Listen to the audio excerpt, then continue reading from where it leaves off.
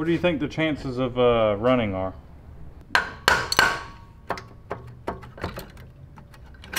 Ooh. Soup. Oh, I don't even want to touch it, dude.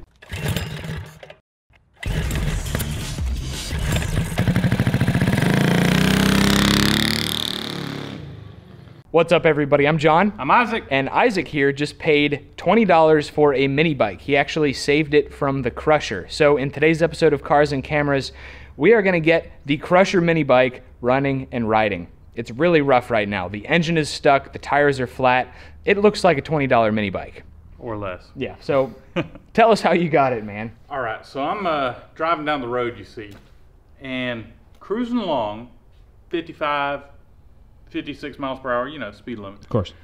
And uh, I made an oncoming truck, and he has the biggest load of riding lawnmowers I've ever seen on the back of a trailer. It was over the top of the truck. And right on the back, I see this thing strapped to the back of the trailer, and apparently it was like the last thing they had picked up. And I spun my truck around. I, I've already figured out where they're going. And uh, I passed them, went to the crusher, and I waited for them. sure enough, they came whipping on into the uh, recycle place. And I stopped him and I was like, hey man, take $20 for that mini bike? And he was like, I'll take 25. And I was like, all I got is 20. He's like, all right. And I'm like, yeah. So here we are. Yeah. The $20 Crusher mini bike. It's a shame it's not yellow. I know, it's a Baja Warrior, right? It's a Baja Warrior. So it's a mini bike that you would have bought at like Tractor Supply maybe five or ten years ago. Yeah, this is the earlier uh, Baja with the, uh, yeah, the way it's made. The metal tank, the metal faux tank. Faux tank. Yes, and a 196cc overhead valve engine. So tires are flat, like I mentioned. Uh, there's no clutch on it. Um, it needs a lot of help. The engine is stuck. So we have some parts from GoPowersports.com. We're going to be putting on this mini bike today, like a new clutch. We might even do a stage one performance kit. And uh, yeah, hopefully we can get this thing running again. Hope so. It's stuck. It's been raining right down the fuel tank and the carburetor for I don't know how many years. It it looks like it's been quite a few. Two minutes into this project, and already neither of these bolts were tight. This one was missing completely. And uh, yeah, their exhaust, their custom exhaust they made is lets rain go right down into the exhaust port there. So not not ideal for, you know, No. longevity. But we are going to show you it'll be fine. I hope so. This needs to get flipped around so our pull cover faces up. But we're just going to take it off for now. Here we were thinking we were just going to take the spark plug out, put some PB blaster in there, let it soak a little bit, and try to turn it over. There's no spark plug in there. Not looking good for the old 196. Oh. She is crusty in there. There's a sticker that says quality on it. That's all I need to know.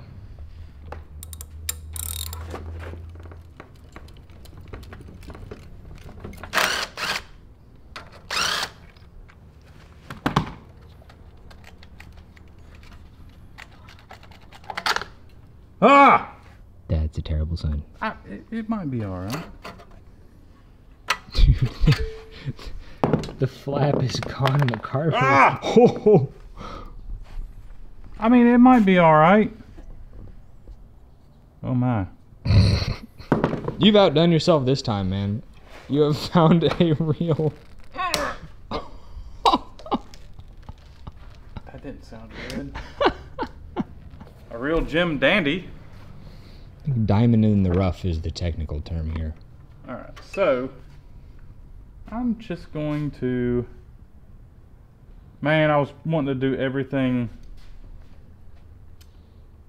with the engine on the bike, but it kind of looks like I might have to take it loose. Now, if this was like a customer's engine, I would definitely try to cover my own butt and say, dude, you need a new engine.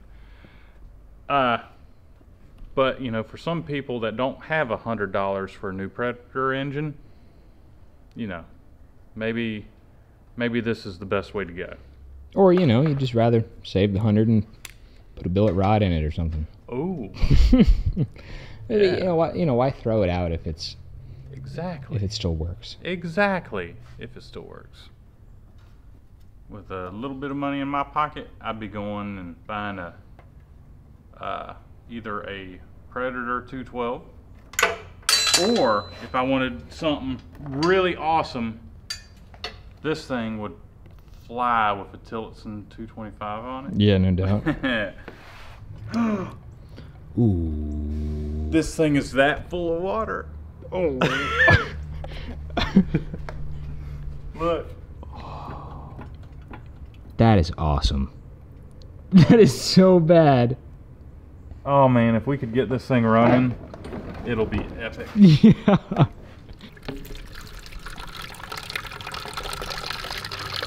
I don't think there's any oil in it. Hey man, I'm gonna go change the water on my bike. What do you think the chances of uh, running are? I'm gonna say uh, twenty-eight percent. Oh, at least that's that's not bad. Yeah, yeah. I would have thought it, that there would be more than that since uh you know we were it was in whoa. Is your chair falling apart? Yeah, it is. It is. whoa. so we just yanking the head off, huh? We're gonna yank the head off, man. After you uh fix your chair. After I fix my chair. I love this chair, man. All right. You smell it now? Yeah, it's horrible. smells like old, old, old oil.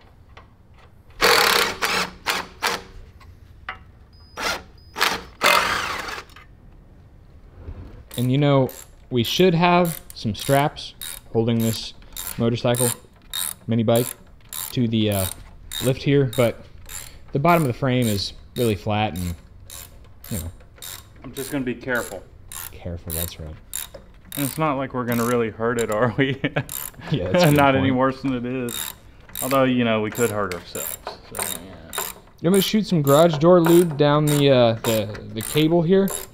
You can try. Yeah, I'll try. Be nice if we could bring it back to life. Doesn't hurt. What happened, man? What happened?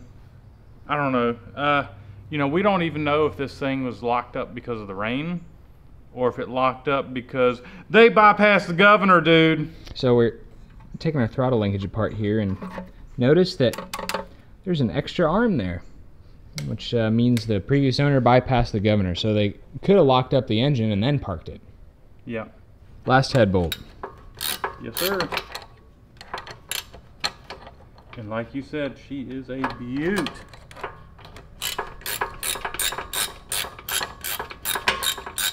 So guys, the easiest thing to do is probably take the engine off. I'm just trying to do it just because.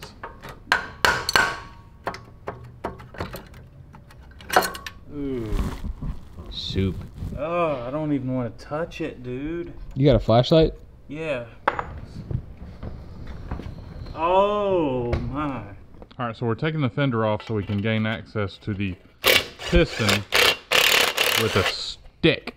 With a stick and a hammer.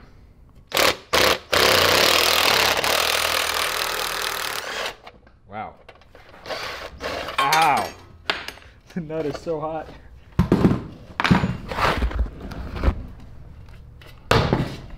So does this mean we need to go searching in the wood for woods for a stick? I think we need to dig some of that stuff out, Yeah. and then and then we'll get the stick. Sweet. I don't think you're gonna have to worry about messing up the cylinder. Don't need this get going into the cooling vents. Oh, that's so crusty. This is not ideal at all, dude. Yeah, no kidding. Tell me if you see some movement.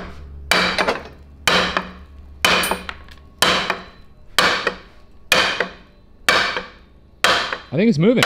It's moving, man. Yeah.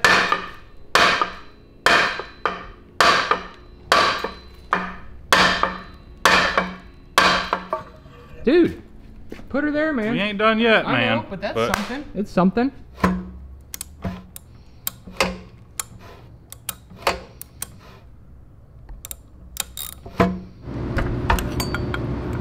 We're getting there, man. It's just taking a while. Oh yeah, we're making progress. You're right there, man. I'm getting there, 20 minutes in, right? at least. I made a full revolution. Oh man, I missed it. Hey, look at that, man. That is awesome. Let's see what happens. Yep.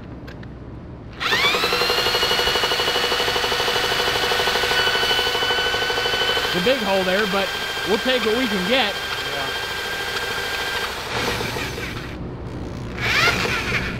Oh, that's pretty bad. Thing's ready to ride, bro.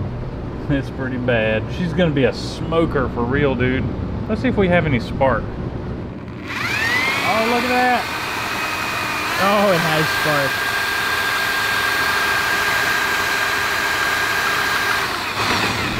That's awesome. All right, dude. So, we ready to throw the head back on and put a new carburetor on it? Uh, well, we have to uh, get the head unstuck first. The valves are sticking. Oh, okay. Yeah. And uh, did you ever find that keep that I think fell out? No, I'm guessing it's under there somewhere. Okay. All right, dude. I'm just gonna take the valves out. I gotta get this other keep out of the way. Oh man, it's moving. There we go. All right, and I'm gonna take the valves out because they are sticking. All right, now I gotta remember the exhaust is pointing that way. So this valve is gonna be. Oh, she is stuck.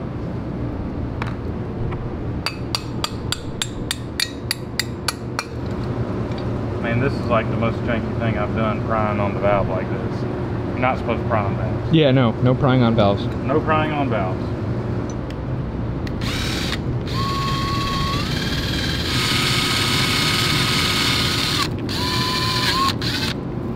All right, guys, we got the uh, head pretty much cleaned up, and we cleaned up the valves with a wire wheel. Now we're gonna lap the valves. I'm gonna show you how to lap the valves. Not quite the correct way, but close enough. Sounds good. You don't want to install the valves dry. And uh, this thing threw enough oil earlier that I can grab as much as I want off the frame. Yeah. Put them on the valve stems. So it's not dry. So let's uh, work on lapping the valves.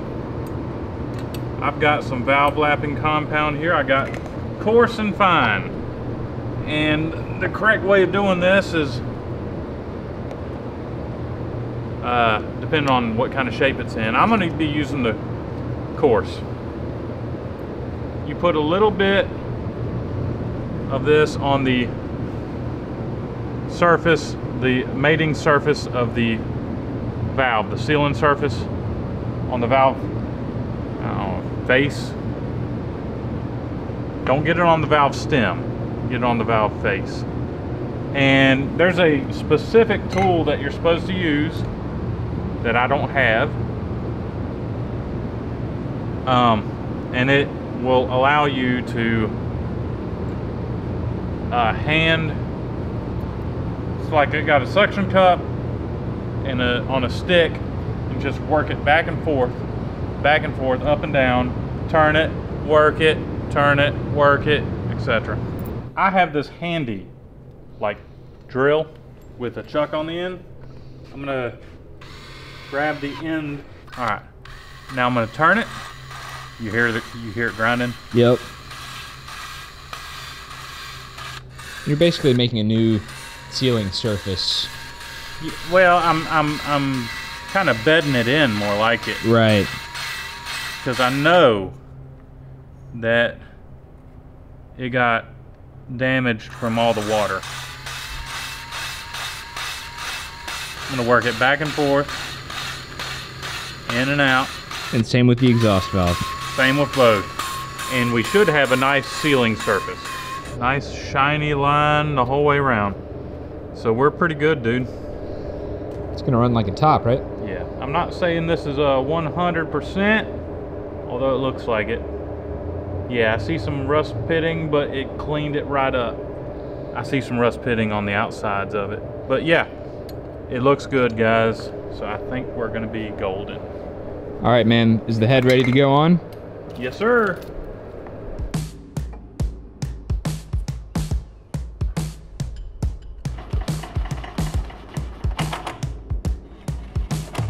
I reinstalled the engine cover. I installed the pull cord correctly, and the engine turns over, which is incredible. So the original carburetor is pretty smoked. It's bad. So we are going to upgrade with this Tillotson TCT carburetor from GoPowerSports.com. This is a an excellent factory replacement carburetor because it is very easily tunable. All the adjustment screws, like your idle speed and fuel mixture, are right there on the top. It's a piece of cake to adjust, and it should go right on uh, this 196 clone. We're also going to use a clutch from GoPowerSports.com, along with some chain and probably a cable if we can't get this one working. So if you need any parts for your Baja Warrior, your Coleman CT200, or your uh, Trailmaster MB200, all your common and uncommon mini bike parts uh, can be found at GoPowerSports.com. And anytime you place an order with them, let them know that Cars and Cameras sent you. So it turns out this twist grip on this bike is broken. Check that out. Look at that carnage. Uh, lucky for us, Go Power Sports sent us new parts, and it looks like an exact match for what we have here. So it ought to be a snap to put together. Sweet. So we have a factory style throttle linkage here. And to replace the throttle cable, you take a Phillips screwdriver, 10 millimeter um, wrench, and undo the screw on the barrel nut.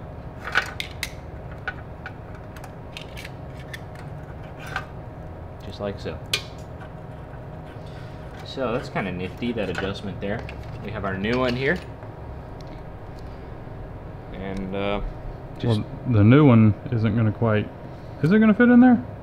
in this whole thing. Yeah. Mm. Oh man, it'd be so cool if it did. No, so this new one,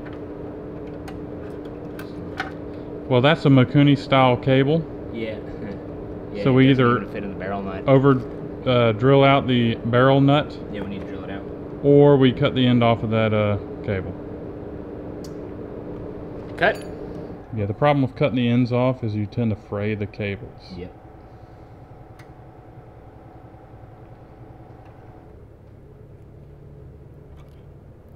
We are getting so close here. We had a, a fuel tank from a Tillotson 212 laying around. We had to rob a stage one air filter off of a, another mini bike we had that's not being used. And uh, we're just going to install the fuel tank. We have the chain hooked up, the chain tensioner. Oh, it looks crooked. Uh, new clutch on there. Literally all that's left is fuel tank. Oh man. Twenty dollar mini bike, man. Uh, we- moment of truth, dude. Sure. Hmm. All right, that's on start. All right, here we go.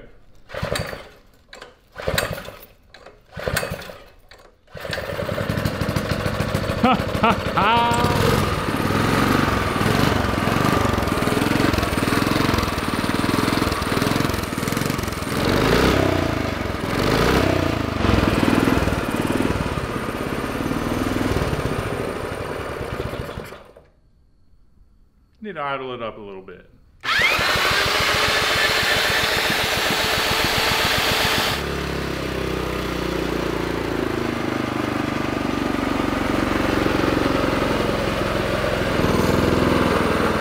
Alright, we'll just save it for in the morning. So if it doesn't crank up again. Yeah. Is it gonna idle? Not even close. I think we're, uh, I think it's a co- compression issue. Yeah, I would, I would agree with that. As bad as it was rusted, Might have some stuck rings. might have some stuck rings. That's why we need to stop running it now so we can get our lap in. Yeah. Because I have a feeling the more we run it, the less compression we're going to have. Okay. So, Sounds good. yeah. Catch you guys in the morning. Good morning. We're about to load the bike up on the truck and take it out for a ride at Ike's place, but we need to make sure it still runs, right? Yeah.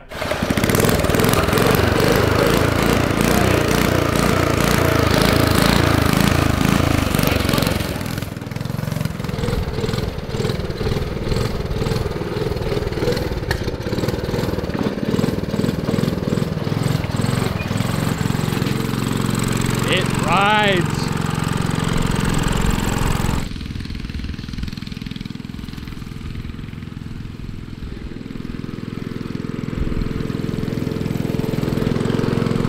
Is that all it has?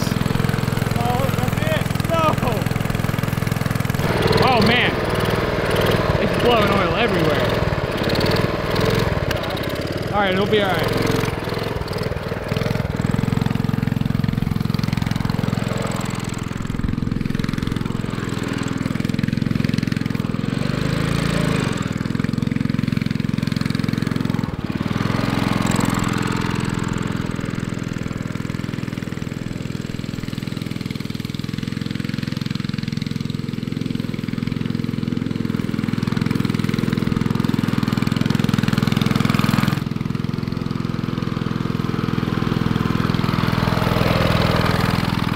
what do you think, bud?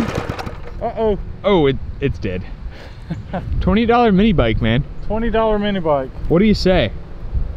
Go out and get you a Tillotson 212, 225, or a uh, Predator 212. yeah, no kidding. I think we can fix it though. Yeah, we just need to put some new rings in it, Some right? new rings, and that ought to fix it. So, uh, like fix everything? yeah. Like no smoke?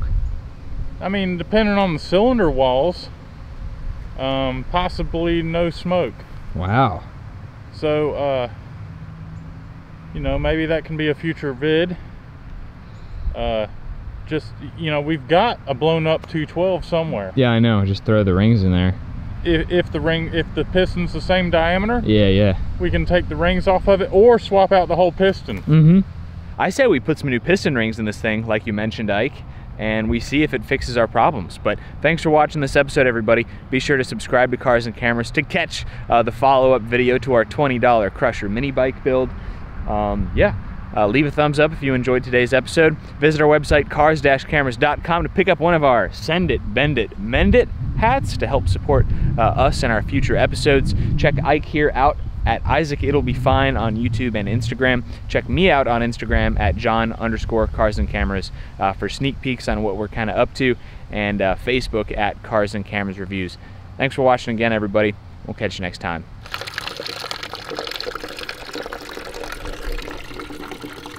Is there any oil in it? I don't think there's any oil in it. You know, oil floats on the top, This thing sat in the rain so long that all the oil did come out of the top.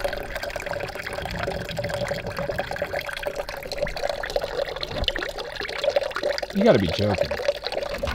We finally picked up a motorcycle lift, so luxury. Yep.